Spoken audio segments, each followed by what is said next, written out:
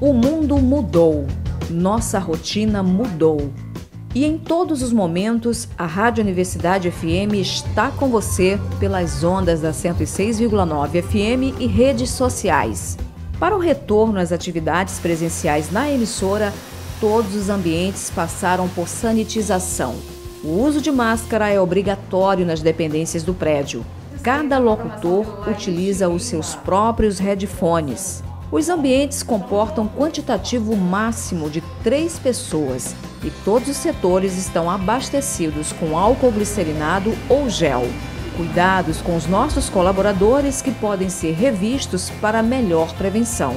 Nesse período de home office, a programação musical pela 106,9 FM foi mantida 10 horas por dia.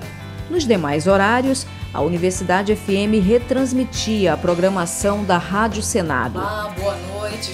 Os programas jornalísticos, de entretenimento e culturais passaram a ser veiculados por meio das redes sociais, Facebook, Instagram, Twitter, do site universidadefm.ufma.br e por plataformas musicais de streaming. Em quase cinco meses foram cerca de 100 lives com artistas e grupos musicais. O jornalismo informou o público por meio de programas, reportagens, boletins locais e nacionais, com uma média de 15 sessões diárias nos diversos perfis da emissora. E todo esse trabalho ganha mais força pelas ondas da 106,9 FM.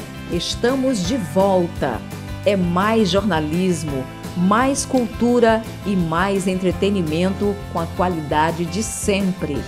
Rádio Universidade FM, mídia inteligente.